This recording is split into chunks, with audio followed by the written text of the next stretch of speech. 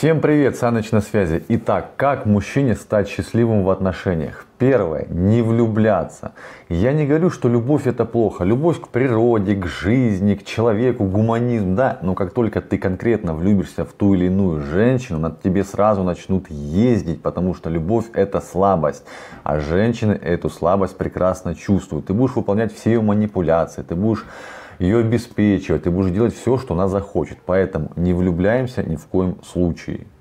Второе. Запомни, нет такого понятия «моя женщина». Есть только такое понятие, как «твоя очередь». Попользовался, передал другому. В любом случае ваши отношения рано или поздно закончатся. И на этот прибор паспорта у тебя не будет никогда. Но это я шучу, конечно. Если бы это была конкретно твоя женщина, ты мог бы распоряжаться, и вообще твой человек мог бы распоряжаться ее волей, ее времяпрепровождением. Но этого не случится никогда. Когда она захочет, тогда она и уйдет. И удержать ты не сможешь никак. Ни по закону, ни не по своему желанию.